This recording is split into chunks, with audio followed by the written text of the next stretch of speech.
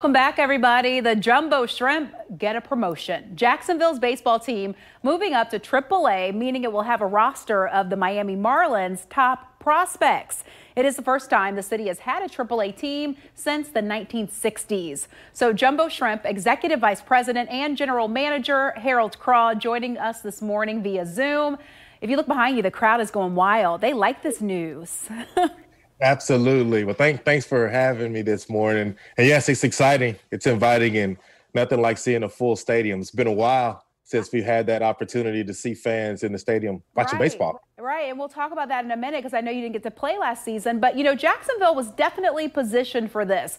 Attendance is up since Ken Babby took over in 2015. Jacksonville's population and growth all plays a factor. So what does this mean for the city? And then, of course, our home team. Well, we, we start off by tipping our cap you know, to Jacksonville because with without our fans, without Crustacean Nation, this would not be possible. Um, let me not be remiss, uh, our partners as well. So it's been uh, an awesome kind of tap on the back, pat on the back, um, an opportunity for us to just enjoy the the invitation uh, to move up. And so it's it's a big it's a big deal for the city, obviously a big deal for the club.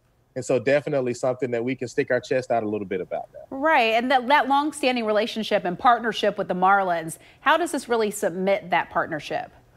So we've since 2009, you know, obviously we've we've been affiliated with the Marlins, but this just makes it firm. We've always had a firm, great re- working relationship with the Marlins, but this just takes it a step further. But it really speaks to how much they value that partnership and how important it was to them and what we've done over the past couple years to show their players have been uber successful on the field, not only in Jacksonville with a couple playoff runs, but also in the majors with Miami with the playoff run that happened last year. Yeah, and let's talk about it though, because you guys weren't able to play this past season, as you alluded to. You're ready to see some fans back in the stands, of course, because of the pandemic. But back in August, the city did award the parent company of the Jumbo Shrimp $2.16 million in COVID relief. So that was crucial to your livelihood. Yeah, it, it was it was a big deal. It uh, helped us keep everyone employed uh, throughout the summer as we programmed 47 events at 121 Financial Ballpark.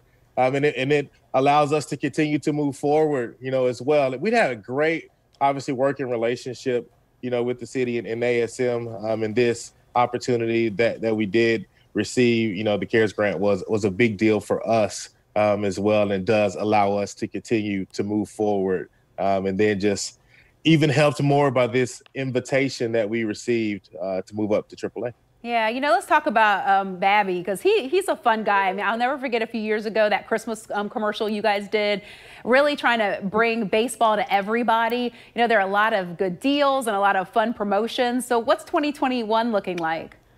A, a lot, a lot of the same. We're still, you know, affordable family fun you know, it's it's still jumbo shrimp baseball. We're still zany. We're still wacky. We're still outside of the box with our promotions and things like that. Um, but just an opportunity. I mean, the thing that probably most people would see more is the change of the athletes that are on the field. Being that it happened this year, it's just a little bit different because we were in 2019 a double A Marlins affiliate. And so, ironically, a lot of the guys that played on the field in 19 that folks saw would you know, obviously with the invitation be coming back potentially again for AAA here. As one little difference is most of the guys that are on a AAA roster in some fashion are also on the extended big league roster. Mm-hmm. And so mm-hmm. that makes it even more viable to see guys that once September, October, or anytime, honestly, during the season, we could see playing in Marlins Park. Oh, that's exciting. That those elite players out there on the field. So congratulations. Our city is cheering you on, and we cannot wait to see baseball back here in Jacksonville. Thank you, guys. Can't wait to welcome you back, Crustacean Nation. Come and see us. yes.